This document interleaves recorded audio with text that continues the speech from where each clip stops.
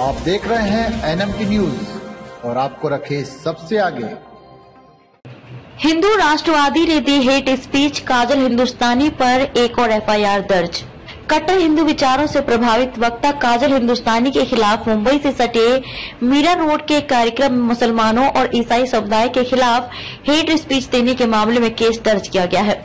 भारत को हिंदू राष्ट्र बनाने के पैरोकार और कट्टर विचारों को मानने वाली काजल हिंदुस्तानी के खिलाफ फिर एक केस दर्ज हुआ है।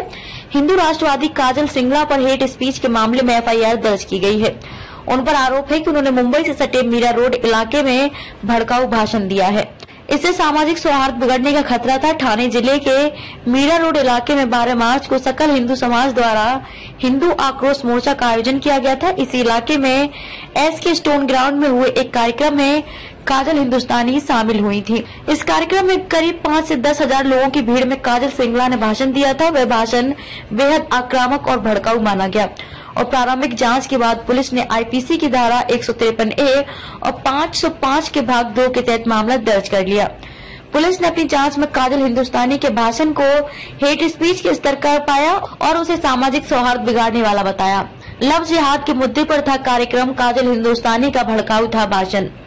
सकल हिंदू समाज की तरफ़ से आयोजित यह आक्रोश मार्च लव जिहाद के खिलाफ निकाला गया था। मीरा रोड के गोल्डन नेस्ट से होता हुआ ये विरोध मार्च एस के स्टोन तक पहुँचा था। इसी एस के स्टोन ग्राउंड में हुए कार्यक्रम में मुख्य वक्ता के तौर पर काजल हिंदुस्तानी ने भाषण दिया। इस पर हेट स्पीच का आरोप लगा। चादर वाले और फादर वाले चला रहे लव जिहाद और लैंड जिहाद। उन्होंने मीरा रोड में मुसलमानों और ईसाई धर्म के मानने वालों के खिलाफ कहा था कि चादर वाले और फादर वाले जैसे शब्दों का इस्तेमाल किया था। उन्होंने कहा था कि मीरा रोड के फेरी वाले नपुंसकता की दवाइयाँ मिलाकर अपने माल बेचते हैं।